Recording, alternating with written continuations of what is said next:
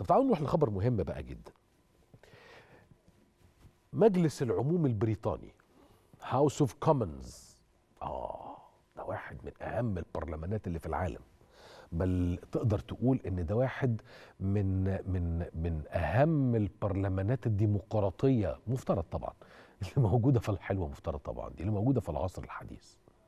المفتي بتاعنا يذهب إلى هناك ويطلق مبادرة تطبيق فتوى برو لخدمة المسلمين في الغرب. فعلا آن الأوان إن المسلمين في الغرب يسمعوا الفتوى من اللي بيفهم يسمعوا الفتوى من اللي عارف يسمعوا الفتوى من أصحاب العقول والعلم الحقيقي مش من المتطرفين والمتشددين وما إلى ذلك. معنا على تليفون دكتور خالد عمران أمين الفتوى بدار الإفتاء المصرية. أهلا بيك يا دكتور. أهلا وسهلا يا فندم وتحياتي ومساء الخير لسيادتك ومساء الخير لمشاهدينا الكرام. مساء النور يا دكتور، يعني طبعا إحنا بالتأكيد سعداء بوجود فضيلة المفتي هناك في لندن وفي مجلس العموم وانه يتم إطلاق هذا التطبيق المتعلق بالفتوى للمسلمين في الغرب. إنه يبقى بإيدين بعقول مصرية بروح مصرية بفقه مصري لو صح التعبير. بس هسأل برضو التوقيت ده يا دكتور ليه؟ ليه مش قبل كده وليه مش بعد كده؟ والحقيقة زيارة فضيلته للمملكة المتحدة جاءت يعني جاءت دعوة منذ فترة.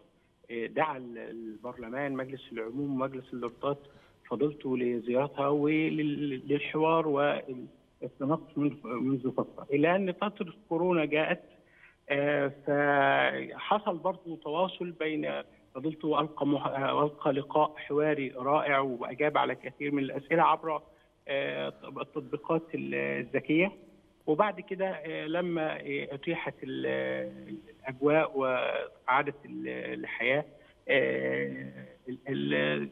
جاء ترتيب هذه الفضاء وتكرر الطلب مرة أخرى وألقى اليوم فضيلته هذه الكلمة التاريخية أمام مجلسي العموم والارضاء البريطاني. عظيم جدا، بتعتقد يا دكتور أهمية وجود العلماء الكبار زي فضيلة المفتي وغيره من علمائنا وما بين قوسين زي ما أنا كده قلت قبل كده وجود الفقه المصري في الغرب، أهمية ده إيه يا فندم؟ والله هو عدة أمور فضيلة المفتي اليوم تكلم عن أهمية التواصل م. التواصل اللي هو اللي هو تبادل وجهات النظر اللي هو الحوار اللي هو الإجابة على الأسئلة والحمد لله يعني إحنا لما بنتكلم عن مصر والتدين المصري والمؤسسات المصرية كلها وكذلك المؤسسات الدينية المصرية.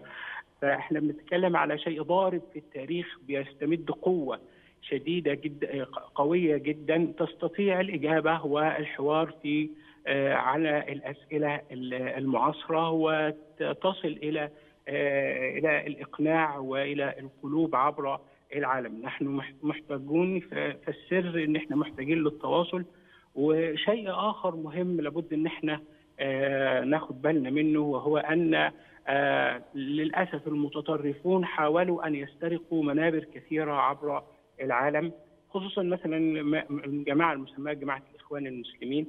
فإحنا آه عبر التواصل وعبر الحوار وما يتم من الإجابة عن الأسئلة وأداء هذا الواجب وخصوصا يعني أنا أذكر ان فضيلة المفتي وعلى هامش المحاضرة اليوم تم توزيع توثيق لأرشيف للعنف الذي يتم عبر هذه الجماعة أرشيف لتاريخ العنف فيها باللغة الإنجليزية للسادة أعضاء مجلس العموم واللوردات البريطاني جميعا. هذا سيوضح أننا في سبيل الدعوة للوسطية الدينية نبذ العنف وبالتالي تصحيح صورة الإسلام تصحيح صوره الوطن لدى في أذهان الناس جميعا. عظيم جدا. بشكرك جدا يا دكتور خالد. كل الشكر دكتور خالد عمران أمين الفتوى بدار الإفتاء المصرية. قبل الفاصل وقبل أن نلتقي زي ما بقول لكم كده بمطربتنا العربية التونسية العالمية. أمال مثلوثي عايز بس أقول لك حاجة على خلفية وجود فضيلة المفتي في مجلس العموم ومجلس اللوردات البريطاني. أنا أفتكر مجرد طرح يعني. أن الأوان إلى أنه يبقى في عندنا علماء ومفكرين أزهريين كانوا أو غير أزهريين.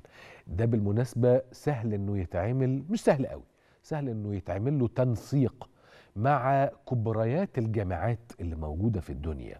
يعني يعني يكونوا موجودين هناك في هذه الجامعات مش بس لأجل التدريس يعني التدريس ده قصة تانية لكن على الأقل لعقد ندوات ومناقشات وبعض المحاضرات من وقت إلى آخر. عايز أشوف تاني الفقه المصري ما بين قوسين كده. ويا سلام سلم لو كان فقه الليث بن سعد بالتحديد يعني. بالتحديد وبالأخص وبالضرورة كمان. يبقى موجود في كينجز كوليدج يبقى موجود في اوكسفورد يبقى موجود في كامبريدج يبقى موجود في جامعة برلين يبقى موجود في السوربون Paris deux يبقى موجود في هارفارد يبقى موجود في يال يبقى موجود في ستانفورد إلى آخره. ولازم نبقى موجودين بكثافة لازم نبقى موجودين بكثافة. كثافة وفاعلية مش السفر لأجل السفر. ولازم وإحنا رايحين نبقى رايحين وإحنا مش بس جاهزين لأن أنا عارف إن ممكن تبقى العقول جاهزة لكن نبقى جاهزين كمان بإن إحنا عندنا كم لا بأس به على الإطلاق من المؤلفات المترجمة بالإنجليزية يعني من العربية للإنجليزية من العربية إلى الفرنسية من العربية إلى الألمانية من العربية إلى الأسبانية. وهكذا. لازم يبقى فيه تعاون مع دور النشر العالمية سواء إذا اللي كانت بتشتغل digital online أو اللي بتشتغل بالشكل العادي إنه مع الباعة والمكتبات. لازم تبقى هذه المؤلفات موجودة. ولازم يبقى فيه مؤلفات أيضا مبسطة وسهلة. طيب رايحين لمين؟ هل إحنا رايحين بس للمسلمين اللي موجودين في أوروبا ولا أمريكا ولا أستراليا؟ إحنا رايحين للإنسانية.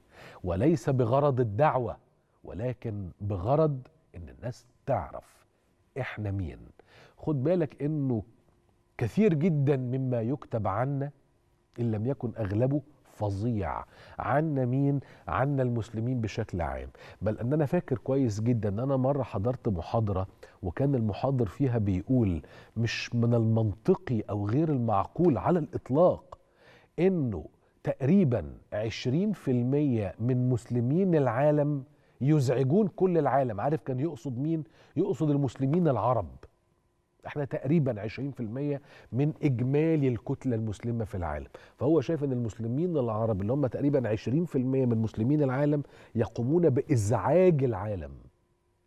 ده تصوره. هو مش قادر يفهم إنه لا مش إحنا اللي بنزعج العالم. اللي بيزعج العالم هو الإرهاب هو التشدد هو التطرف.